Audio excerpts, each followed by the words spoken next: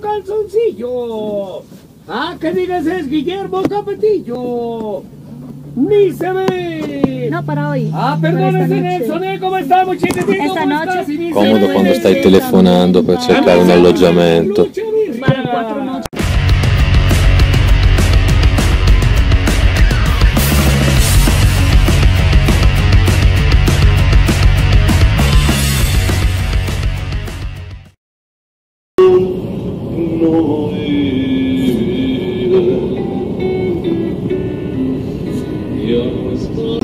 Esa historia de un amor como no hay otro igual que me hizo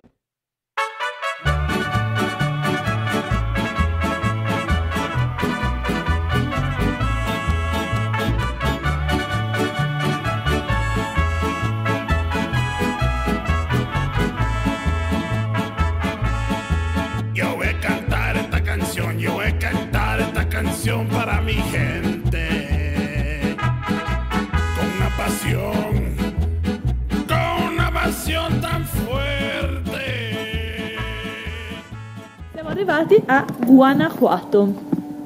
È stato un po' difficile stavolta trovare un allocamento perché è molto costoso rispetto allora, rispetto all'Italia è super economico, ovviamente come al solito, rispetto, rispetto al resto del Messico. E quindi alla nostra spesa normale per l'alloggiamento è più costoso, tipo quasi il doppio.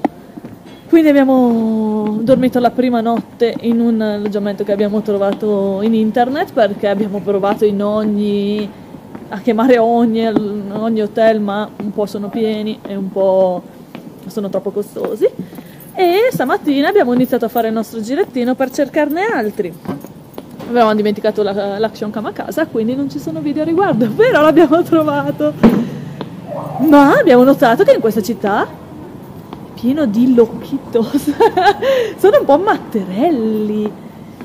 Bellissimo, eh? meraviglioso. Io poi che mi piace chiacchierare sono super a mio agio.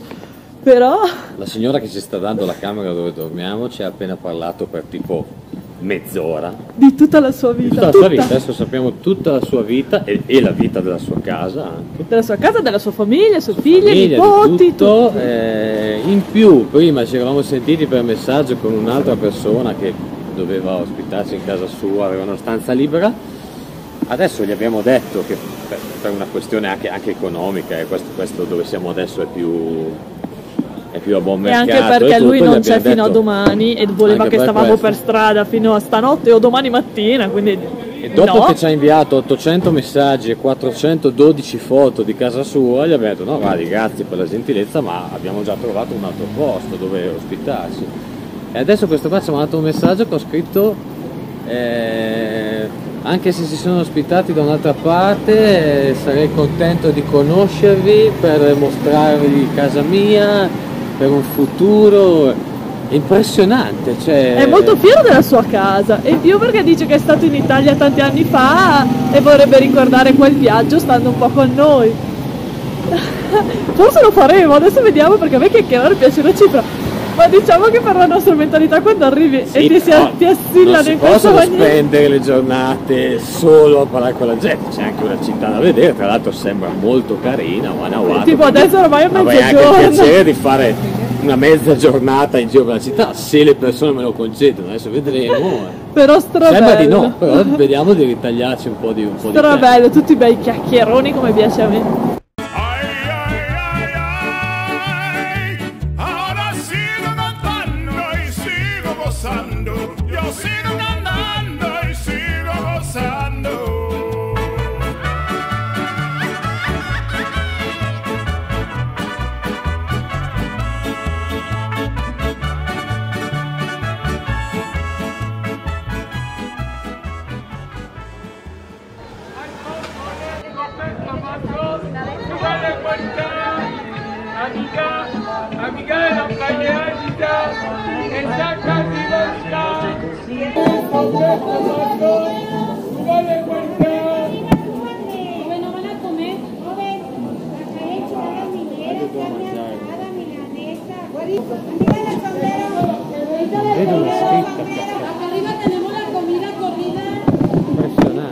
Amiga del sombrero, vengono chiamate le persone, tu col cappello, vieni, vieni.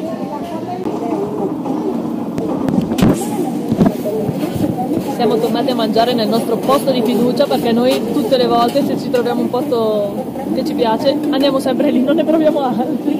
Eh, Sì, almeno che ci sia qualcosa di diverso che colpisce, però qua tutti si equivagono, ieri abbiamo mangiato bene, speso poco, quindi Poi è bello avere le proprie abitudini, a me piace, a me piace.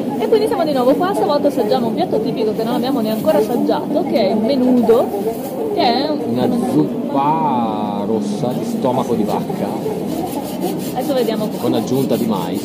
Vediamo. Grazie. Quindi come ci ha consigliato mettiamo un po' di origano, un po' di cipolla immancabile nella, nella comida messicana.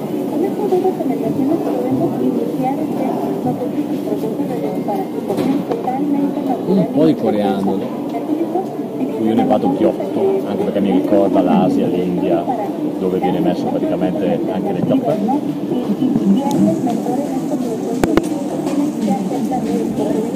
E poi per sgrassare leggermente, con un piatto leggermente grasso, Appena una bella strizzata di lana. Abbiamo le nostre tortilla da mangiarci insieme. E già, dei pezzi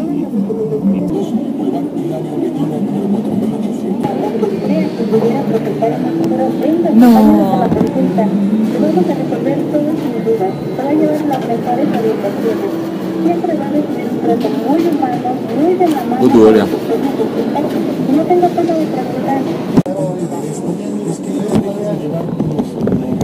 ora che, abbiamo, che lo abbiamo assaggiato così nature, facciamo come fanno loro qua, i messicani ci hanno spiegato che, che si mangia proprio dentro nella tortilla, come tutto qua in Messico. Burrito e quesadilla de pastor, carne di maiale. Il maiale regna sovrano nella cucina messicana.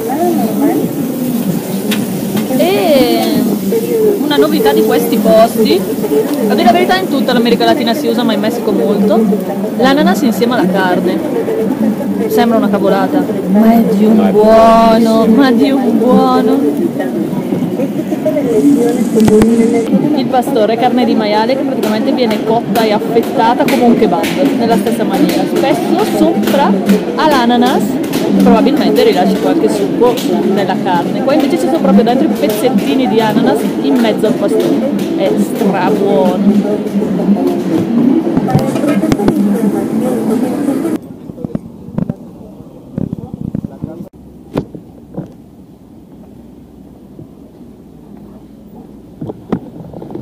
Rendere più difficile il- la ricerca di un alloggiamento qua a Guanajuato sul posto è stata la conformazione di Guanajuato. È tutto un sali e scendi dalle colline a sottoterra, ci sono anche diverse strade sotterranee.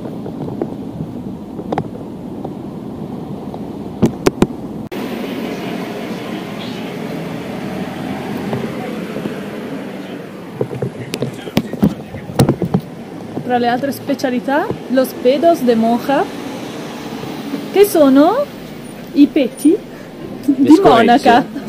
di monaca. Dillo, scusate la caramella, però dopo Maria De Filippo lo faccio io. Ho già fatto partire, se fai in silenzio non aspettiamo dei minuti di registrazione.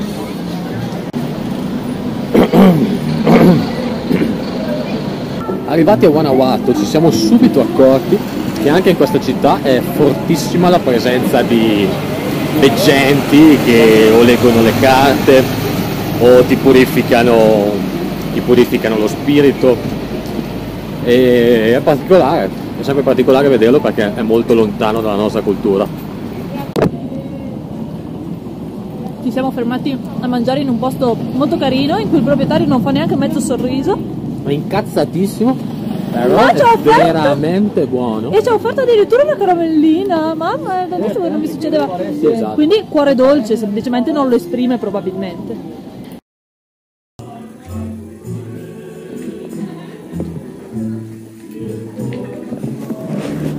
Questa è la nostra sistemazione qua a Guanajuato. Ne siamo molto contenti, c'è da dire, perché la signora è davvero una personcina d'oro. Abbiamo tre letti matrimoniali nonostante siamo in due. Esatto, quindi perfetto. Per- ce lo siamo fatti su noi il letto, perché lei ci ha dato solo le coperte a posto così. Abbiamo la cucina, no, si sta davvero benissimo. La cosa migliore però di questa sistemazione è il fatto che è silenziosa.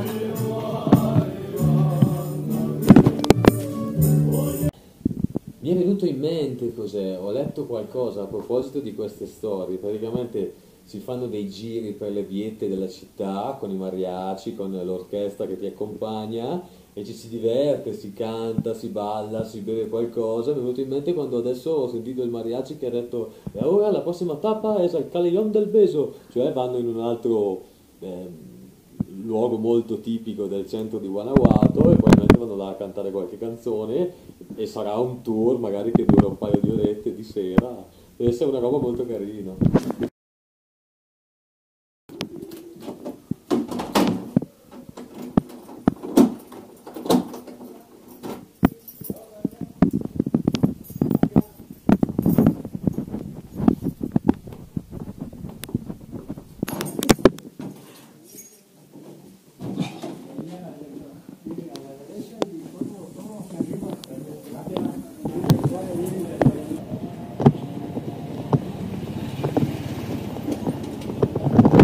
Las momias.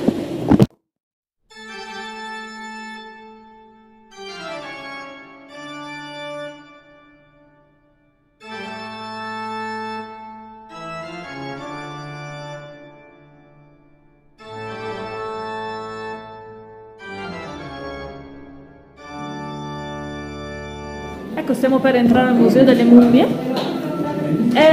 Museo molto diverso da quello che ci immaginiamo nel momento in cui si dice Museo delle Mummie. Esatto, soprattutto perché non, non si tratta di mummie ma si tratta di cadaveri, eh, semplicemente tenuti molto bene grazie a condizioni atmosferiche favorevoli, esposti. Le ultime due, gli ultimi due corpi esposti sono due bambini morti nel 1984 e siccome i loro genitori non erano riusciti a pagare questa tassa al corrispondente di 20 dollari americani, Per 5 anni. per cinque anni eh, i bambini sono stati dissotterrati e portati in, questa- in questo museo ed esposti al pubblico. Non siamo diventati sadici, però questo museo è molto famoso, molto frequentato, vediamo tantissime famiglie che portano i propri bambini qua a vedere questo museo delle mummie, quindi siamo curiosi di vedere qual è il, clima, come è interpretato, se, può- se possa centrare con l'interpretazione messicana della morte, che è diversa dalla nostra. Adesso vediamo, vediamo com'è.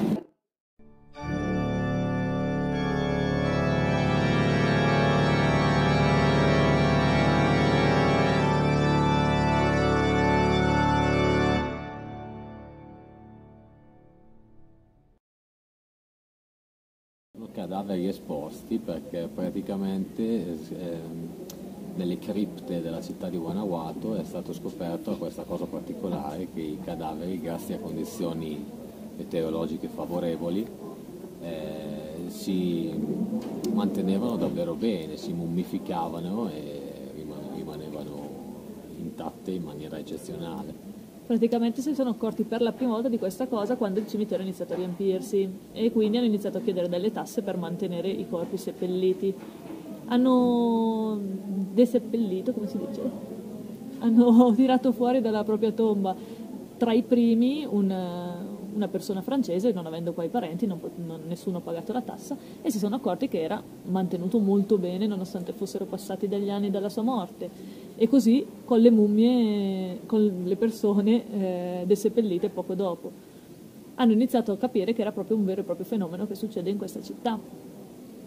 Quindi eh, tutt'oggi questa tassa esiste, chiesti, viene chiesto di, di pagare questa tassa per mantenere i corpi nel, nel cimitero, chi non la paga mh, vengono deseppelliti e portati in questo museo esposti a pagamento. Tuttora ci sono delle nuove entrate nella collezione di cadaveri del museo Sinceramente, sentimento molto contrastante perché eh, qua viene proprio visitato come mh, grande attrazione turistica della città, Ci sono- c'è pieno di famiglie con i propri bambini Sì, che sì. vengono a visitare il- questo posto. Sinceramente, adesso che l'abbiamo visto, non so se porterei mio figlio, perché è davvero C'è macabro. macabra, ecco. Davvero, eh, ci sono anche- bambini, feti, eh, persone uccise malamente, nel senso è proprio cadaveri molto di tenuti impatto. piuttosto bene, quindi che, che fanno un certo senso, perché un conto è vedere uno scheletro, un conto è vedere Con pelle, tanto di capelli, danno capelli, tutto, sì, denti, sì, sì, denti. unghie che si mantengono nel tempo. È, È piuttosto forte per è chi è, forte. piuttosto impressionabile. Però c'è la sua poesia sotto, perché praticamente nell'entrare hai sopra le porte ci sono varie domande. Tipo entri e c'è proprio scritto solamente sei ancora vivo. E entrando pian pianino ci sono altre domande tipo stai seguendo la passione che ti mantiene vivo? Stai attento a vivere davvero? Nel senso ci sono diverse, diverse domande Sì, forse che più vogliono farti riflettere, nel senso è bello che ci sia questa Seguire queste concezione. domande piuttosto che i cadaveri in sé che Fa pensare però perché è messo in una maniera che ti vuole portare a una piccola riflessione, per quanto magari loro dal loro punto di vista lo fanno semplicemente per guadagnare soldi e non sto mettendo in dubbio questo, però nel senso ti porta anche un pochettino a una riflessione soprattutto sul fatto che siamo in una società che vede la morte in una maniera molto diversa dalla nostra, che celebra la morte, che considerano nella propria vita la morte. E infatti tra una delle frasi c'era nel momento in cui smetterete di considerare la morte come parte della vita smetterete anche di vivere perché è importante considerare che si finisce tutti così. E quindi mm, non so sono combattuta. Mm, è d'impatto è forte. Ti prende anche un pochino male sapere che vengono messi qua i cadaveri di chi non può pagare le tasse. Mi auguro che le famiglie non siano contrarie a questa cosa, non saprei. Da un altro punto di vista ti fa riflettere su un aspetto vero e proprio della vita, che è la morte. È inutile chiudere gli occhi e far finta che non esista, esiste. Non lo so, molto strano. Sì, particolare. Lo Particolare. vedi per curiosità, ecco, ti domandi come mai tutta la gente venga a vederlo, sia una delle attrazioni principali, anche i tour che ti offrono in centro, il Museo delle Mummie è, è una Sì. tappa fissa, è una delle cose probabilmente più visitate di Guanajuato. Ci sono anche un paio di Guinness, anche i vari cartelli di spiegazione sono fatti in prima persona, come ciao sono stato seppellito in tale data, Sì, ho girato tutto il mondo perché sono la mummia meglio mantenuta eh, esistente al mondo, se no c'è la mummia più piccola esistente al mondo perché Sì, sì, si tratta di un bambino durante la gravidanza tra i Un 5 e i feto 6 di cinque, mesi. mesi. E quindi sì, molto d'impatto, adesso andiamo a vedere il resto della città riportiamo un pochettino Sì, diciamo l'umore che il alle centro stelle. della città è quello che vedi è molto più piacevole del museo.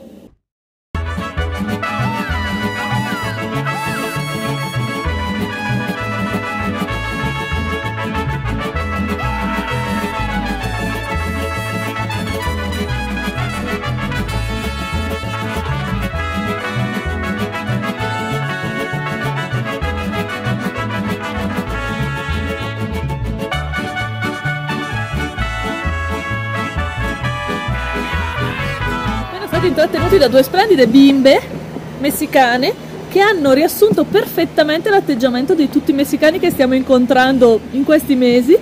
Cioè, ciao, tu parli inglese? Sì, io parlo inglese e tu? No, io no. Noi che eravamo abituati a viaggiare pressoché sempre, sempre in Asia, sempre in Asia, questa America Latina dopo un anno ci fa davvero capire il perché si dice che i latini sono molto più calorosi. C'è gente che limona in giro come dei pazzi scatenati. Ma anche gente di 50 anni, cioè quello lì Sì, sì, sì, chiunque. senza nessun ritegno. In Asia avevamo sempre soggezione fino mai a darsi la mano perché troppe fusioni. Qua non ci sono problemi. Riesumare si dice, mi è venuto in mente adesso, sarà passata mezz'ora, 40 minuti.